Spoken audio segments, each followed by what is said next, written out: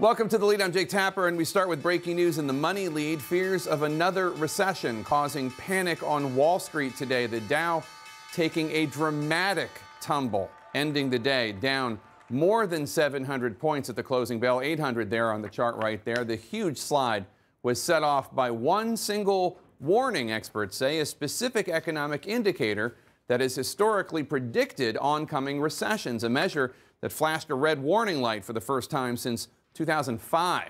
I want to go right to CNN's Christina Alesci at the New York Stock Exchange. And Christina, how bad was the damage today? It was a bloodbath. We're down 800 points, a pretty dramatic slide, even in the final minutes of the closing bell, Jake.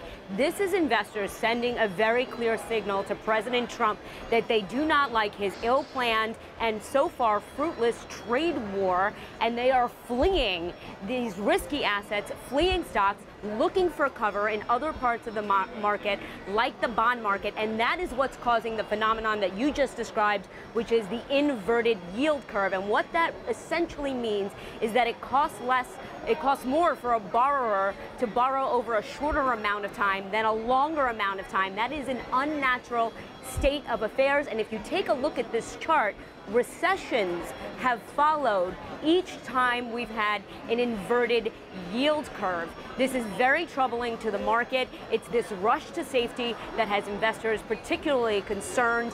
And by the way, investors also digesting the fact that the deal maker in chief may not be able to get to a deal with China.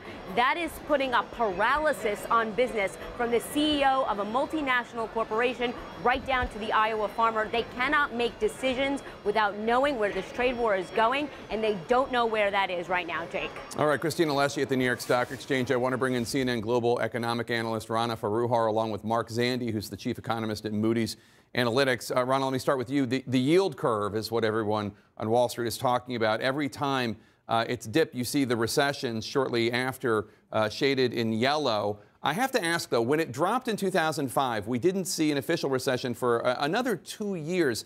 Does that mean that this recession, assuming this is actually predictive and actually uh, correlated, that it might not be in the immediate future?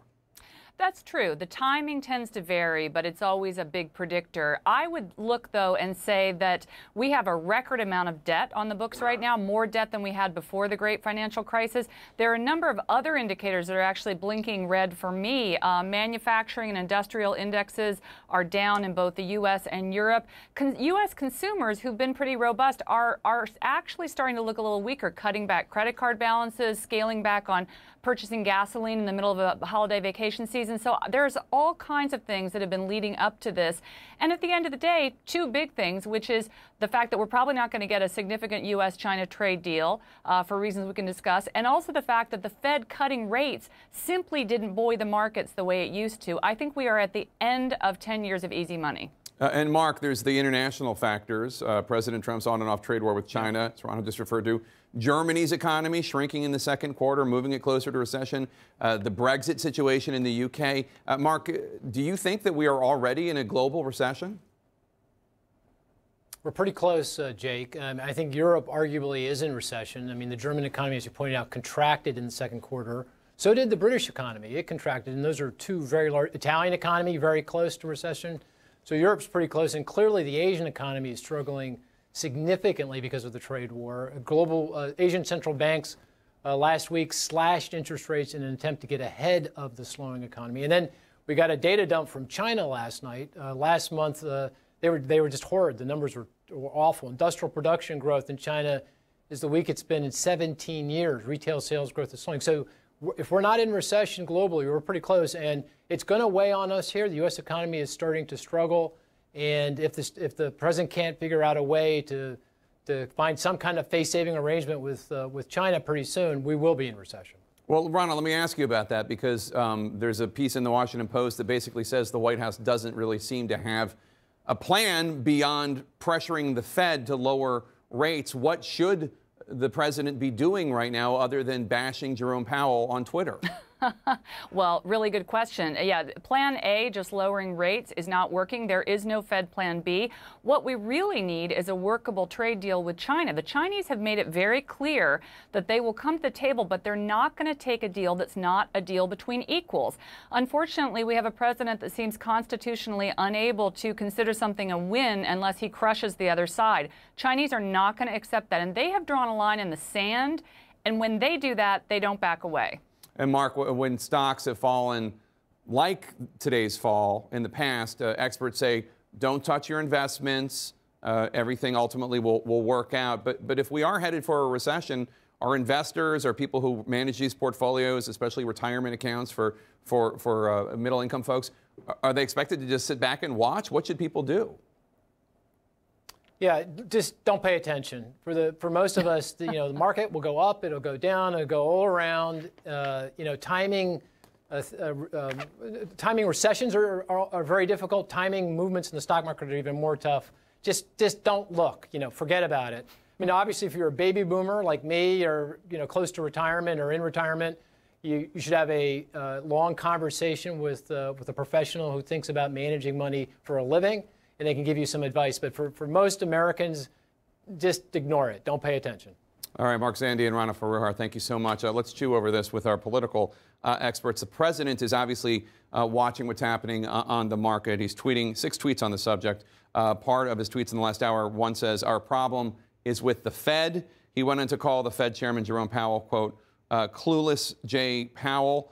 Um, first of all, we're a long way away from the buck stops here. Yeah. Uh, but but is there a plan there beyond I, tweets? It seems like the plan may be to just make sure that there's someone else to blame if things go south. And right now, it's looking like that's going to be Jay Powell, like that he will have to take the that he may have to uh, kind of bear the brunt of this from the president because if things go bad, President Trump's going to say, well, things were going really well, but the Fed just kind of messed me up because he doesn't want to talk about what's going on with China and how, uh, even though he tweeted that trade wars were good and easy to win, that's just not happening right now. And you saw the administration blink this week when they said, oh, we're not going to put a 10% tariff on all 300 billion of imports, uh, extra additional imports from China. We're not going to do that because it might hurt consumers. It might affect us, which is the total opposite of what President Trump has been saying. And so he doesn't want to feel that kind of pain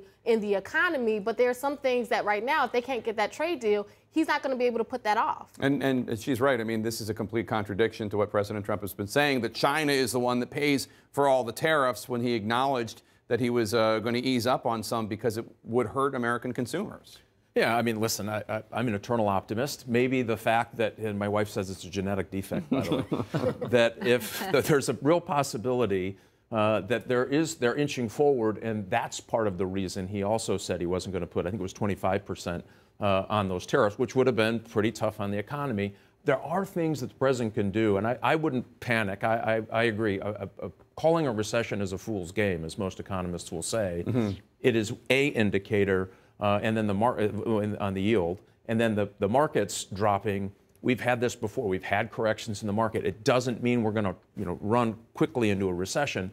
My argument is if the president steps up now, does an infrastructure bill, uh, un, un, uh, unemployment is still extremely low. I mean, there's lots of good things to build on. Re engage with our European friends on the China issue. I think if you started announcing a few of those things, you could see that this thing could be averted from uh, rolling into the ditch. And Jen Psaki, former communications director for the Obama White House, I do want to give you the, the pleasure of the uh, game we occasionally play here. There's a there's a tweet for it. There's always a mm. tweet for it. In 2012, President Trump tweeted about your former boss. It's Monday. How many more excuses will Obama make today about the economy? Again, the president gets blamed no matter what, whether it's fair or whether it's not fair. Uh, and if this economy is starting to sputter, at the very least, mm-hmm. uh, that's going to be voters will hold President Trump accountable. That's true, and that's a reality no matter who is president, that whoever is sitting in the Oval Office will get the blame or the thanks for where the economy is. Look, President Trump has been getting credit for the economy of the last three years. That is a continuation of the Obama recovery. I think most economists will tell you that, but it's hard to argue that point. I think what Mike said is a really important part here, and this is why it would be great if he had a fully functioning policy team, which he doesn't, is that there should be a consideration at this point. What can he do? He can consider what kind of stimulative actions, what kind of efforts that can help create jobs, help uh, prepare for a turn in the economy, what they can consider and, and get through Congress they don't have a functioning process. And I think that's going to be a real problem here as well because some of the indicators were beyond China. They were about the uh, housing market. You know, you've seen them on the housing market, you've seen them on manufacturing. So there are other areas where his team should be watching, and it's not clear they are. And, and Jeff Zeleny, I want you to take a listen to the president's top trade advisor, Peter Navarro, uh, earlier today. The biggest problem we're fighting right now at the White House um, is the Federal Reserve's interest rate policy. We lost a, almost a point of growth in, in Q2 uh, simply because the Fed had raised interest rates too far too fast. Again, the blame, and I'm not saying that the Fed uh, plays no role in this, but but they're going to need to have more answers and solutions, as as Mike was just suggesting. Sure, particularly because the president has tried to own the you know extraordinary uh, soaring stock market. I mean, he has uh, you know tried to make that uh, you know suggest that it was because of him, and it, it wasn't. But the reality is, though, I've been remarkably surprised, we'll see how long this lasts, at how resilient Trump voters have been, how patient they have been with his policies in Iowa and other farm states.